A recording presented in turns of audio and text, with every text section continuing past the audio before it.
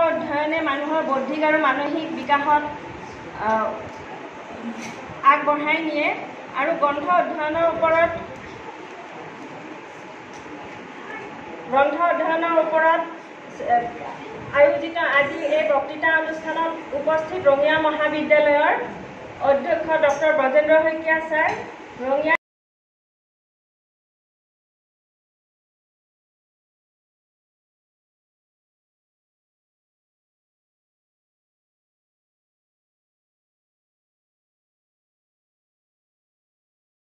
অসমীয়া ৰবৰ লেখক তেওঁ লিখিছে এই আটাইকেইটা কবিতা পঢ়ি বৰ ভাল লাগে তাৰপিছত ভাবিলোঁ এটা গল্প পঢ়োঁ বহুদিন গল্প পঢ়া মই প্ৰায় দুই তিনিদিনৰ মূৰে মূৰে এটা এটা গল্প পঢ়োঁ আলোচনীৰ গল্প বা পেপাৰত থাকিলে পেপাৰৰ গল্প বা মোৰ ষ্টক আছে কিছুমান গল্প পুথি কিনি থোৱা আছে তাৰ মই পঢ়োঁ আৰু মানে বিদেশী গল্পবিলাকৰ অনুবাদ কিনি থৈছোঁ মই বিশেষকৈ বেংগলী অনুবাদ বেছি আছে অসমীয়াত ইমান পোৱা নাযায় আৰু অসমীয়া গল্পবিলাকৰ পুৰণা গল্প কেতিয়াবা পঢ়োঁ। গল্প এটা উলিয়াই দেখিলেও এইটোৱে টপিক। আচৰিত আপোনালোকে আগে পঢ়িব আপোনালোকে পঢ়িবা এইবাৰৰ যোৱা প্ৰান্তিকৰ গল্পটোৰ নাম কিন্তু আন্দোলন। আচলতে কিতাপৰ আন্দোলন সেই কিতাপটো দিয়া নাই আৰু। আন্দোলন। আৰু গল্পটো আজিৰ পৰিস্থিতি সুন্দৰকৈ ফুটাই তুলিছে কঞ্জলেশ্যন পাঠক নাম। তেওঁ কেভিন প্ৰিন্সিপাল বৰপেটাৰ। অতি সুন্দৰ গল্প। গল্পটো বৰ অলপমান কম কাৰণ আজিৰ প্ৰসংগত খুবেই দৰকাৰী তথাপি চেষ্টা কৰিম আপোনালোকে অলপ ধৈৰ্য ধৰি শুনিব পৰিচয়টো দি দিছোঁ মই।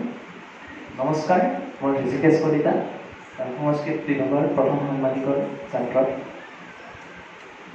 আজিৰ আমাৰ এই গ্ৰন্থ অধ্যয়ন মঞ্চত উপবিষ্ট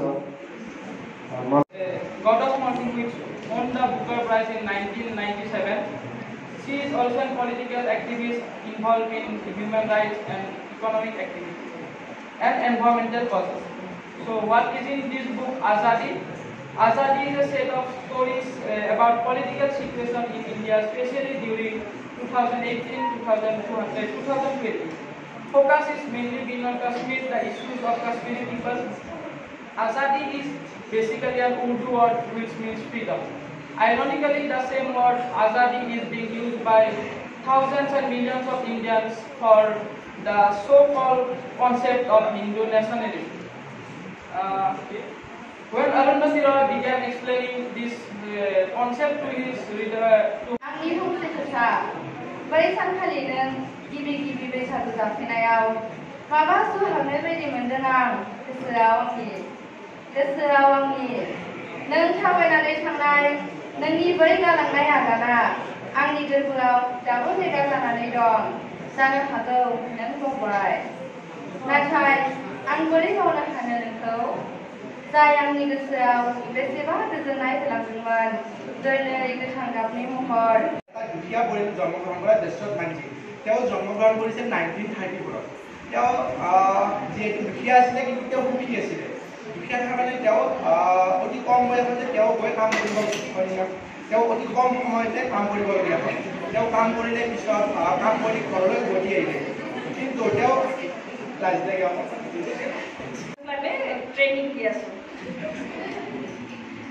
এইবাৰ আমাৰ মাজত আছে ইংৰাজী বিভাগৰ পূজা কুমাৰী ৰায়। পূজা কুমাৰীয়ে আমাক এটি ইংৰাজী কবিতা আবৃত্তি